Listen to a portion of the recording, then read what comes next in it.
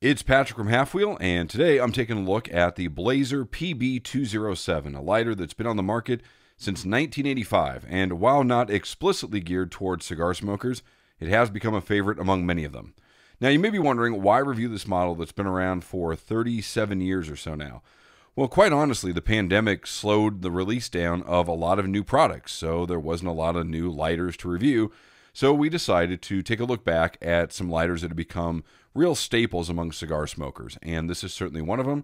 A lot of us on the staff use them, and uh, so figured let's take a look at this one. Now, before we get into this, there's a couple things to go over really quick about this lighter. There are two variants of the PB207, and if you're going to buy one, you'll probably want to make sure to closely check the details, as they are close but not all the same. Actually, the more I think about it, there's actually three variants. So this lighter is referred to as the Pocket Blazer or simply the Torch, or as you can see, the Pocket Micro Torch. It's got a couple of different names depending on where you look at it.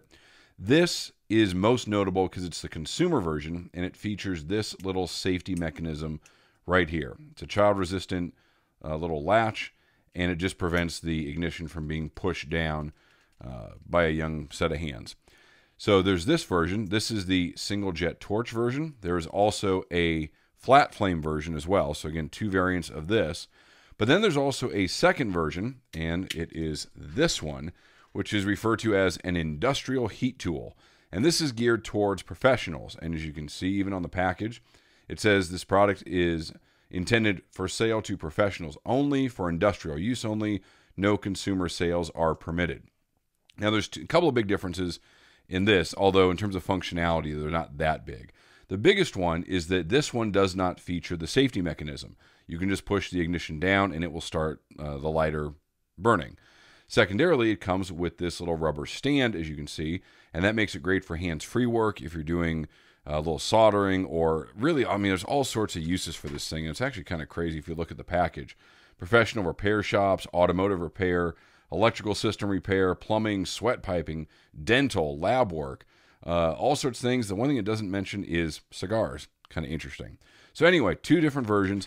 And I bring this up because this is the one I was sent first, and it drove me nuts because I couldn't figure out why it didn't have the safety mechanism. And I thought maybe we got a counterfeit one or they had changed the model or whatever. Thankfully, some folks at Blazer set me straight and uh, let me know that there's actually two different versions. So, again, terms of practical usage, not a huge difference, but you do want to make sure that you're getting the one that you want if you do want that safety mechanism. Now, for the purposes of this review, I am using the consumer one. And again, you'll notice that because it has that little safety mechanism right there.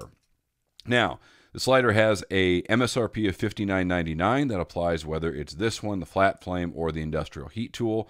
Comes with a one-year warranty measures just under three inches tall, about 1.2 inches wide, and about eight tenths of an inch thick. And uh, again, as I said, for this review, I'm looking at the one that's geared towards consumers. And regardless of which model you use, one of the most distinctive features about this lighter is this cap. And in an era of single action lighters and various sorts of lids, this one's kind of unique. You actually have to lift it off. It remains attached to the body via this little chain. And for me, it's something I'm not terribly crazy about. I'm probably more ambivalent than anything. Um, I'm not, like I said, I don't really like it. I always keep thinking the chain's going to break or something's going to break, but hasn't done that yet. So, so far, so good. In terms of using the lighter, first you remove that lid or that cap, whatever you want to call it. And in this case, you're going to roll up the child resistant little tab mechanism. That allows you to push down on the ignition, which starts the flow of butane and gives you a spark of the piezo ignition to start the fire. As long as you hold down the ignition, lighter keeps burning. Let it go. There you go. You can also latch this in place with that little mechanism right there. So if you are doing hands-free work, this is where it's a little bit more applicable to the industrial heat tool version, but you can use hands-free work, or if you just don't want to hold down the ignition, there's that option. To let it go, you just do that. There's a flame adjuster over here on this side. I have generally found it to work really well on the lowest setting, which is something I don't say a lot about lighters.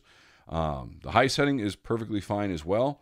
It's a little bit bigger, but for me, not really something I need. So again, I just bring that all the way down to the lowest setting. The other thing with this too is it's also running on regular butane. Usually I use the Xikar HP butane just to give my lighters a little more oomph. This does not need it. It runs just perfectly fine on regular off-the-shelf butane. Uh, just get good, clean fuel, and you'll be fine. So let's turn the lights down really quick and give you a look at what this lighter looks like. So again, single flame torch, nice sharp flame, really geared towards smaller cigars, but it can certainly handle bigger ones as well. But it makes your touch-ups really easy. If you smoke Lanceros or Coronas, very easy to use on this. Really precise, really accurate. And again, as long as the butane's flowing, super reliable. So let's bring this back up. Now, in terms of features, this is a pretty bare bones lighter. There's no punch cutter or anything like that. As I said, there's a locking mechanism right here to keep the flame engaged. It has a safety tab, your flame adjuster, and then your butane uh, valve is down here on the bottom for easy filling. Now, there are a bunch of colors in this available. Not all of them feature this clear portion down here on the bottom. There are some that are solid colors. So if you like having that as a uh, feature, make sure you check which color you're getting. There is a completely clear version as well. So if you like to see all the fuel that's in there and some of the mechanisms, you can see that as well. Again, lots of colors, lots of options. Just make sure you know what you're getting if you're looking into this.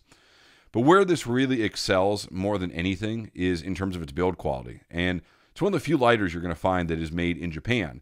And I look, I don't want to correlate the two. There are plenty of folks who will do that on the internet or wherever. They think it might help the durability as opposed to some of the Chinese made lighters that dominate the market. What I will tell you is that this tank feels pretty solid. I don't know if I necessarily want to run over it with a car, but in terms of the the parts and the pieces that it uses, it does feel incredibly solid and well made.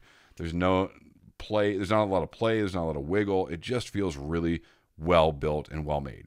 So again, that's the Blazer PB207 and again, this is the consumer version. Thanks so much for checking out this review and for complete coverage of the premium cigar industry, be sure to check out halfwheel.com.